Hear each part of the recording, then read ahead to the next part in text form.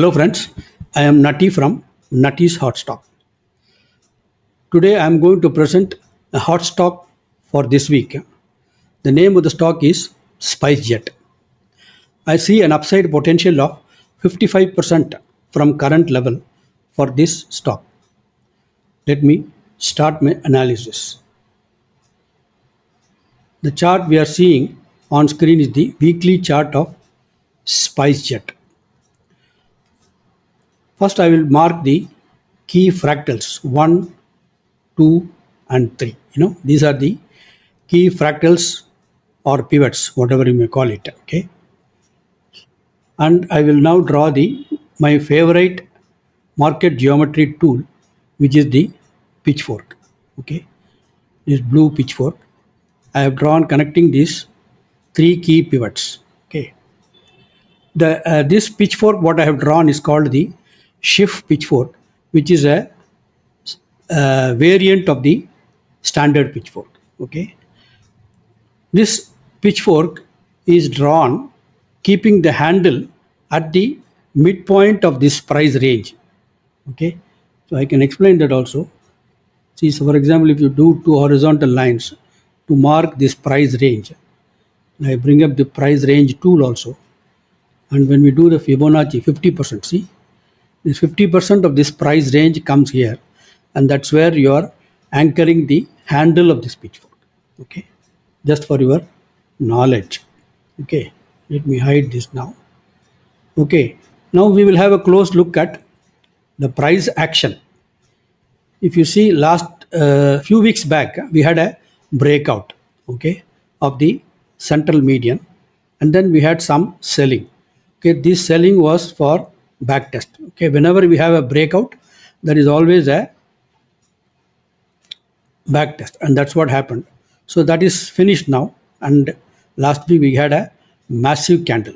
I think last week we had an upside of 21% okay 21.18% up move last week accompanied by let's have a look at the volumes. See we had a decent volume okay? So the up move came with very good volumes. Okay, that is the first observation of bullishness. And the second most important reason for my bullishness is the failure of the price to reach the lower median. Okay, as per uh, Andrews median rules, any stock when it breaks out of the central median, it has to go to the lower median. A failure to do so is considered as a sign of bullishness. So I am pretty sure this this stock will go and touch the upper median, if not more. But if you ask me, I would think that the stock could go up to the pivot number three, around 107, whatever. That could be a second target, if at all. If somebody wants to play that, you can play uh, exit 50% at this level and keep balance 50% to ride up to 107. Okay anyhow but the target i am giving for this video is the upper median. Okay. So now what i do i will again bring up this fibonacci what we did before you know and maybe extend it. Extend right okay. So when we do that we can uh, see that this line is crossing the upper median.